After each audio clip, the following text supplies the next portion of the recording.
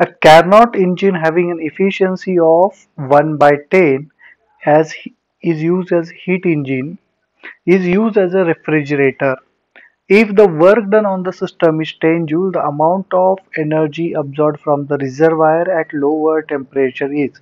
So see, with respect to the Carnot engine, it is given that the efficiency of a Carnot engine is 1 by 10. Now we can write that from the formula of efficiency. Formula of efficiency is work done per unit heat supplied is equal to 1 by 10. Right. So we can say this Q1 is equal to 10 W.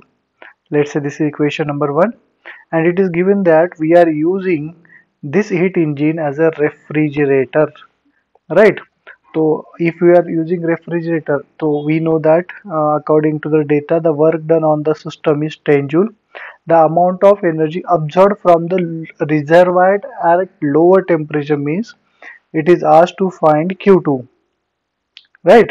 So we can use the law of conservation of energy in that case and can write the equation q1 is equal to q2 plus w. So q2 is a heat extracted w is a work done q1 is a heat rejected.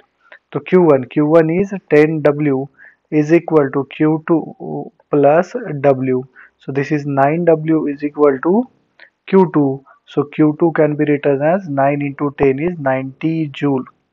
So answer correct answer is option b. Right